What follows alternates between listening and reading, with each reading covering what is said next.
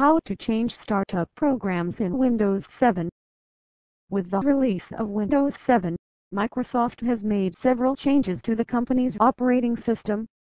Startup program settings are similar to those of previous operating systems. Startup programs are saved in a specific folder on the hard drive.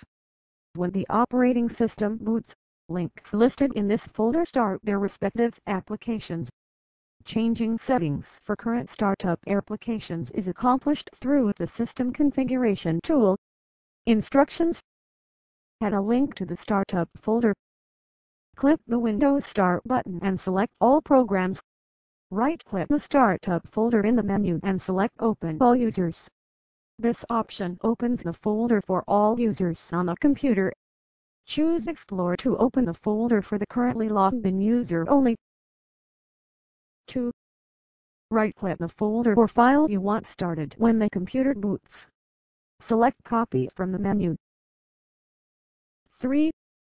Right-click any white space in the startup folder you opened in Step 1.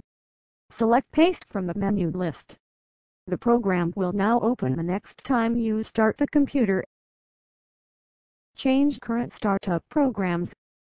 1.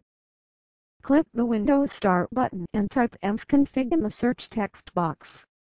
This opens the System Configuration console. 2. Click the Startup tab.